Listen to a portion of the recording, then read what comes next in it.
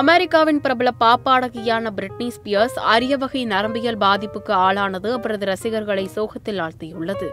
கன்சர்வேட்டரிஷிப் என்ற சட்ட வழிமுறையின்படி தன் வாழ்க்கையின் பதிமூணு வருடங்களை தன் தந்தை மற்றும் பிறரின் அதீத கட்டுப்பாட்டின் கீழ் வாழ்ந்து வந்த பிரிட்னி அண்மையில்தான் அதற்கு எதிரான வழக்கில் வெற்றி பெற்று சுதந்திர காற்றை சுவாசித்தார். இந்நிலையில் தனக்கு குணப்படுத்த முடியாத நரம்பியல் பாதிப்பு உள்ளதாக பிரிட்னி தெரிவித்துள்ளார்.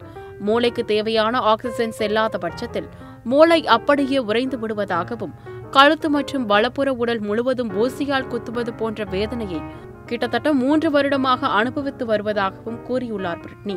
தான் நடனமாடும் வீடியோவை இன்ஸ்டாகிராம் பக்கத்தில் பகிர்ந்துள்ள பிரிட்னி நடனமாடும் நேரத்தில் மட்டுமே தனது வழியை மறக்க முடிவதாகவும் தெரிவித்துள்ளார்.